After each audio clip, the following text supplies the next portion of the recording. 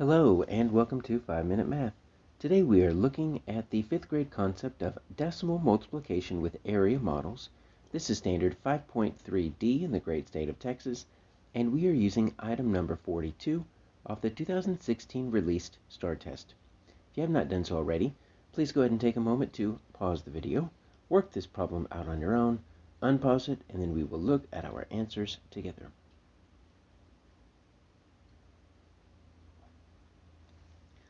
So Maricela is using this particular model. It's just a simple rod with 10 squares. That's going to represent one whole. We need to find the best representation of 1.8 or 1 and 8 tenths times 4. So we have 1.8 and 4 represented multiple different ways. Only one of them is actually correct. So let's make sure we understand what 1.8 would look like. So if we've got 1.8, if this whole is going to be 1, right, so we're going to say that's one whole, then the 8 is going to be, oh, just a little, the 0.8, the 8 tenths is going to be just a little bit shorter than it. So that's what we see in J, that's what we see in H, that's what we see at the beginning of F and G, but we also see something else there. So let's look at F. So we have 1.8. So here's my 1.8.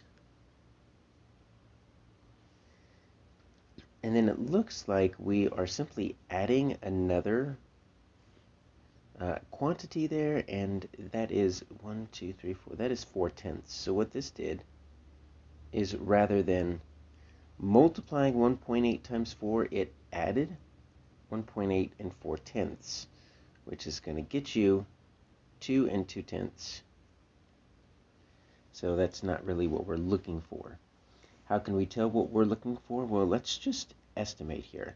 So this is about, we're going to round this to, it's almost 2, right? So 1.8 is really close to 2 whole. If we multiply that by 4, because remember we're supposed to multiply the 1.8 by 4, we're looking for something near 8. So this 2.2 up here in F is not really going to work for us. Let's look at G. This looks a little bit more promising. It's got 1.8. Still looks like it's adding. And I got 1, 2, 3, 4. So it's just adding 4 extra. 1.8 plus 4 extra. If we wanted to add that, 1.8 4, we need to make sure we're putting our 4 in the 1 spot. It would be 4.0 if we really wanted to make it look even. It's going to get us 5.4, so that's going to get us a little bit more.